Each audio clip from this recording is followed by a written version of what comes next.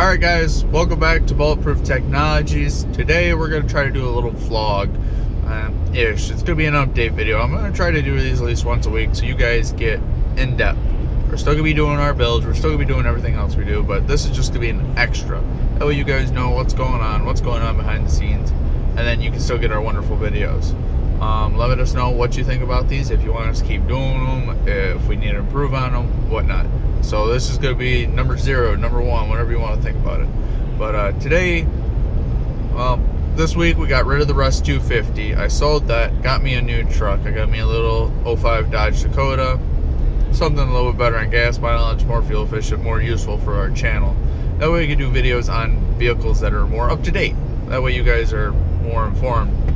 And we're gonna do some projects bed lights running lights stuff like that not much um, but today we're going out to the barn and work on Andrew's Chevy K10 and um, we're gonna try to get it running either this week or next week.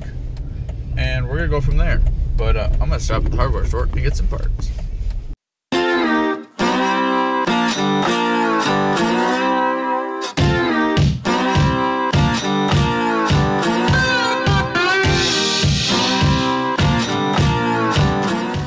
well, we're over here at the barn. Well, just got here after looking at our shooting range and it was all torn up from our windstorm we had on a couple days ago. Just having problems uh, getting in the barn. Turn the lights on. I want to see where I'm going. Jeez, we gotta clean up in here. So like you, you're working on a truck. Yeah. Especially a GM truck because you have to use different wrenches for every size nut. Yeah, it loves having different size nuts. And here she sits. And looks like she has an engine now. Let's see what's under her box. Oh, look at that. Look at that. It's all brand new. Look at it. Old brand new motor. I don't know. We might see if it runs today. Oh, you think we won't get it running? No, I don't have all the parts for it. You don't have all the parts for it.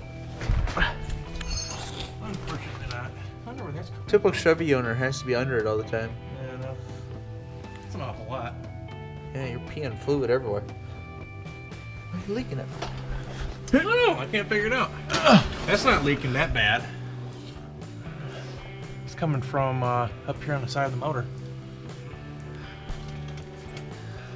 I don't know. It's hard to say. It might have been from last night when I um, primed it and that that's just the fluid, but that's an awful lot. It looks pretty clean. Well, from us looking at it, the camera looks like it's poop brown. Yeah, I think that's from last night, because... Has to be. Yeah, because it, it, ran down the side of the block here from when it shot up. Yeah. Hit the side of the firewall. Yep, probably. All right. Put some oil on it to clean it out. Yeah, guess we gotta work on it more.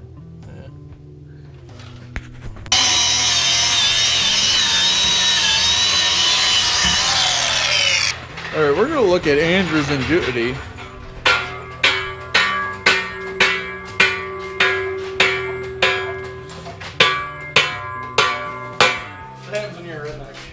I know. Ah, when all else fails and you want to try to get something up, just weld it.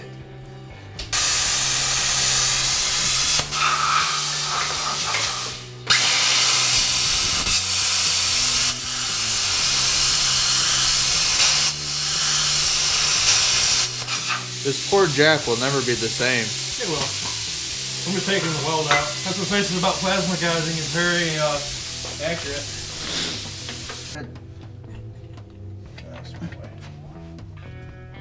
Is it holding? Woo. Okay.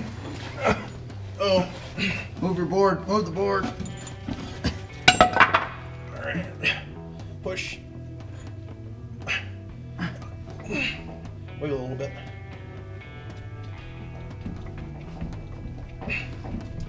Oh. There you go. Thank God. Thank God. All right, hold on, hold on. Hold it real quick. Like, we have never gotten this far, guys. I got a bolt right here.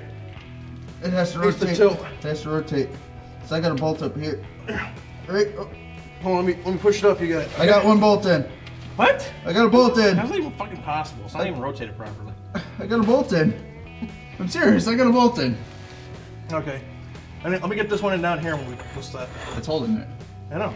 I need to push this fucking neck. Let's get this jack. What's the crush's name? It won't. There's one bolt. I'll lift thread it in. All right. All right, which way do you gotta It go? needs to go. Just pretty much push it up. Thread, damn you.